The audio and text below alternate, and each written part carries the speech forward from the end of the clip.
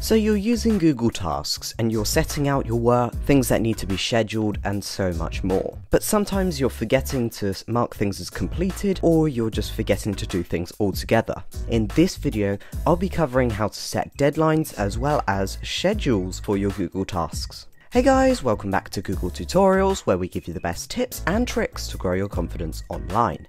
If you're new here, please consider subscribing so that you're the first to get notified every time we launch a brand new video. With Google Tasks, you have the ability to set reminders and schedules for yourself, but to make yourself more efficient, sometimes you want to actually set deadlines and remind yourself to do a certain thing. To do this, all you need to do is open up Google Tasks. There's a video at the top right of your screen, as well as in the description box below on how to access and use the basics inside of Google Tasks. And all you want to do is hover over one that you've already created and click on the pen icon here. Then it will bring some more advanced options for your task. And then the thing that we need is add date and time. And this will set a date and time limit onto your task.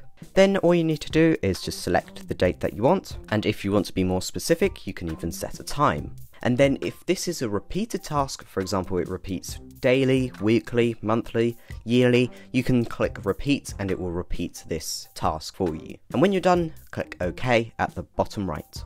To change the date, all you want to do is click back on it, or to remove it, click the cross at the right hand side to this. If you're interested in finding the best way to organise your day, there's a video shown on screen now on how to do just that, or for another video by Google Tutorials, check out the video shown on screen now. Don't forget to subscribe, and I'll see you soon.